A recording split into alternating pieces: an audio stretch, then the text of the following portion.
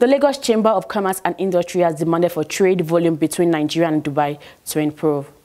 The President LCCI Babatunde Ruwase, who was represented by the Director General LCCI Muda Yusuf at a meeting with the Dubai Trade Mission to Nigeria, said with closer cooperation between the private sector of both countries, the trade volume could be improved. Ruwase assured that the chamber would extend all necessary support to improve trade and investment relations between Nigeria and Dubai and also employ Nigerian business owners to take advantage of the meeting to broaden their scope of their networking. Meanwhile, the ambassador of the United Arab Emirates to Nigeria, Fahad Al-Taffaq, expressed UAE's readiness to deepen economic ties with Nigeria.